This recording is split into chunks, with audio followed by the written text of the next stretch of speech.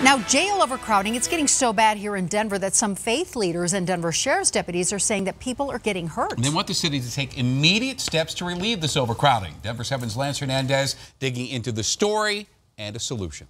Violent incidences are on the rise. The Denver Sheriff's Union says the jail is over capacity. We get on an average of a call for assistance from different floors up to 20 times a day.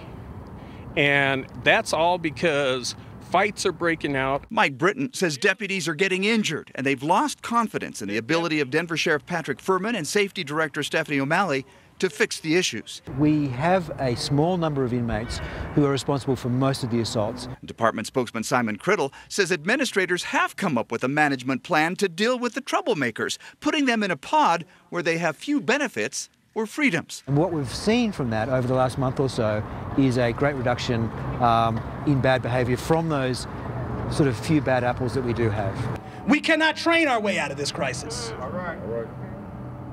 We cannot overstaff our way out of this crisis. Justice activists say Denver needs to do far more to keep drug addicts, those with mental health issues, and the homeless out of jail.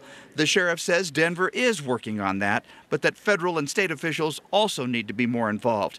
And faith leaders are demanding to be part of the decision making process.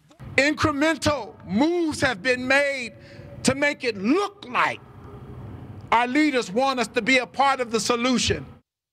And Simon Crittle says the department continues to evaluate staffing levels in relation to jail population. He says the increased staffing levels last year, they increased it by 200 deputies and have another four recruit academies planned for this year.